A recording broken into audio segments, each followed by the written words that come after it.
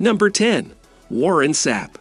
When he played for the Buccaneers and the Raiders in the NFL, Warren Sapp was a very successful and well known player. He spent all of his money on clothes, mansions, and sports cars.